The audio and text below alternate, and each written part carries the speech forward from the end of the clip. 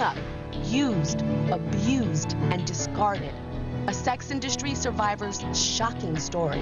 I started out as a stripper, then progressed into prostitution, and progressed into being a at age 25, she knows how wrong she was, and her name is Tiana. Hi, Tiana. Hi. So today, you've, you've been watching the show, I'm sure, in the back, and Yes, you've I seen uh, a teen prostitute and a teen porn star, and I hear that you relate to their stories very much. I am those girls. I was those girls. I, I started out as a stripper, you know, and uh, progressed into webcam, then progressed into prostitution, and progressed into being a porn star, porn actress. And it's just a, it's a slippery it's a slippery slope because you start off saying, okay, I'm going to start off as a topless dancer, and you do that, and it's easy, and you make money, and then you're like, well, I can make more money if I was doing full nude. And then you do full nude, and then I was working in a strip club when I met my pimp, and he introduced me into prostitution, and I was making ten thousand dollars a week or more. And it's a lifestyle. I mean, you drive a nice car, mm-hmm. you live in a nice house, you have tons of money, you can buy whatever you want. But what what does that get you in the end? I don't have any of the things from when I did that.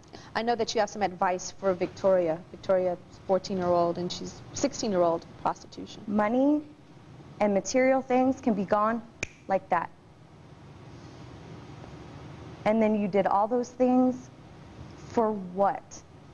For what? Nothing. Nothing. Doesn't make you a better person. Doesn't make you smarter. Doesn't get you ahead in life. All it does is numbs you. Like you said. It does. It really does. And I'm glad that you realize that because it took me a long time. Mm-hmm. And I know you have something for Sasha as well. The things that you do, the things that I've seen, the things that you say, you say you're in a business that is sexually positive. You said that. What is sexually positive about licking a toilet seat? I didn't say that I'm in a business that's sexually positive. I said I try to do it in a sex positive way. Those are things I chose to do. That's something I created actually. Okay, I have a question. Would you want to be alone in a room with the guy that watches you be sexually abused by a male in your films? Would you want to be alone with the guy that watches those videos and thinks that's how that girl is? And if I was with her, I could punch her, I could spit on her, I could disrespect her in any way that I could think of, and that's okay? Do you think that's sending a good message to anyone else that's out there? I'm not with a guy that does that. So no, obviously I don't want to do that. You know what I like Right. about this right now? I can say any all that I want to you, Sasha. You know, I didn't live your life. It is so easy for me with my past and, and my life to look at you and say, why are you doing this? And I can understand you rolling your eyes at me and saying, whatever. But Tiana has lived it. And when someone has lived it and they challenge you, it's it's just a whole nother world. And I even see how you're responding to her is a little bit different than you're responding to me.